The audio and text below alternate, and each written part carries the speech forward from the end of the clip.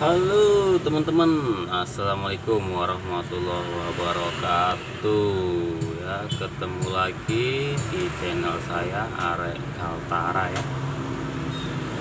Hari ini kebetulan masuk malam, jadi siang mau mancing juga puasanya kurang mendukung nih, mendung-mendung ya. Jadi terpaksa di kios saja ini. Bantu-bantu jualan es kelapa muda suasananya di pagi hari ini cukup lumayan ya. Nggak juga terlalu panas nggak juga hujan jadi mendung-mendung gimana gitu. Nah di sini saya mau berbagi informasi nih buat teman-teman ya tentang kelapa muda yaitu terutama kelapa pink ya yang biasanya dipakai untuk obat ginjal biasanya tapi kalau saya pribadi biasanya untuk jamu ya nggak apa-apa ya. Nah jadi ini tadi baru bongkaran kelapa ya teman-teman ya.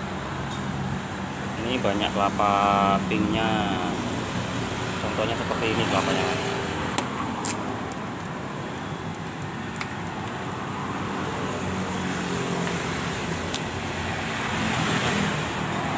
Warnanya pink ya. Warnanya pink biasanya untuk obat ginjal ini. Jadi biasanya diminum tapi sebelumnya dibakar biasanya teman-teman ya. Dibakar dikasih merica kasih madu. Tapi kalau untuk jamu biasanya dikasih telur bebek juga bagus nih teman-teman. Bebek madu serai sama merica biasanya teman-teman ya. Warnanya pink ya teman-teman ya kebanyakan warnanya pink. Dan ini juga. Seperti ini ya ini warnanya pink. Ini beda kan sama yang lainnya. Yang lainnya biasanya warnanya cuman putih doang. Kita buktikan. Nah seperti ini ya. Putih ya kalau yang biasa.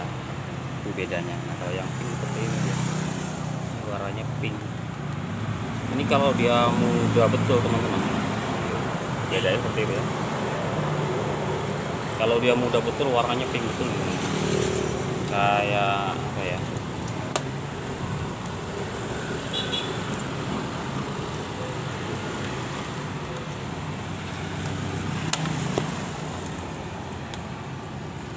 Oke teman-teman ya.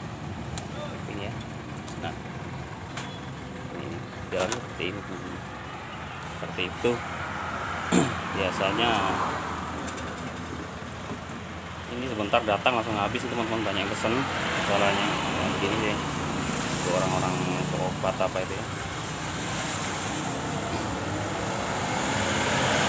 Ya buat teman-teman kalau mau cari kelapa muda khususnya kelapa pink datang aja langsung tinggal ke warung saya ya RND warung RND es kelapa muda Jalan Jambu Tanjung Selor Kalimantan Utara. Oke teman-temanku. Semoga yang nonton video ini diberi kesehatan dan rezeki. Amin. Oke kita lanjut jualan dulu. Oke terima kasih teman-teman assalamualaikum warahmatullahi wabarakatuh. Mantap